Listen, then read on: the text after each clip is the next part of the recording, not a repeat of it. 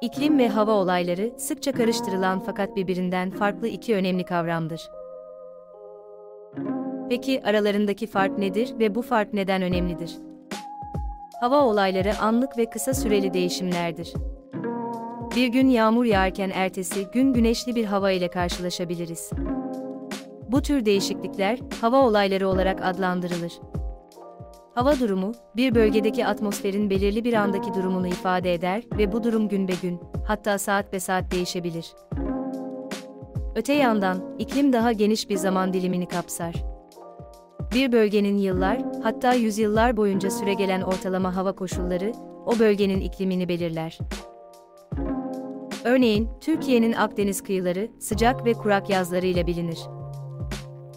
Bu, o bölgenin tipik bir Akdeniz iklimine sahip olduğunu gösterir.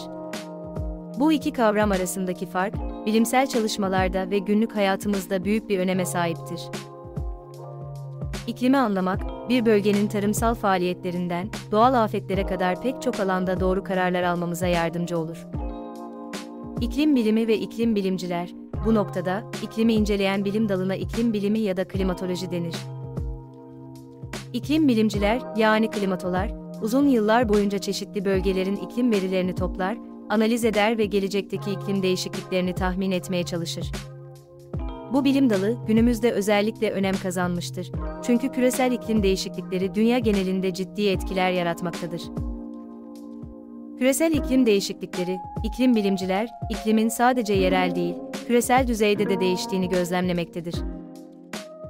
Bu değişiklikler, ortalama sıcaklıkların artması, buzulların erimesi ve deniz seviyelerinin yükselmesi gibi ciddi sonuçlar doğurur. Bu küresel değişiklikler, tüm dünya üzerindeki ekosistemleri, tarımı, su kaynaklarını ve hatta toplumsal yapıyı etkilemektedir. İklim ve hava olayları arasındaki bu farkı anlamak, küresel iklim değişikliklerini daha iyi anlamamıza ve bu konuda bilinçli adımlar atmamıza yardımcı olur. İklim bilimi, bu alandaki en son gelişmeleri takip ederek, geleceğe yönelik stratejiler geliştirmemizi sağlar.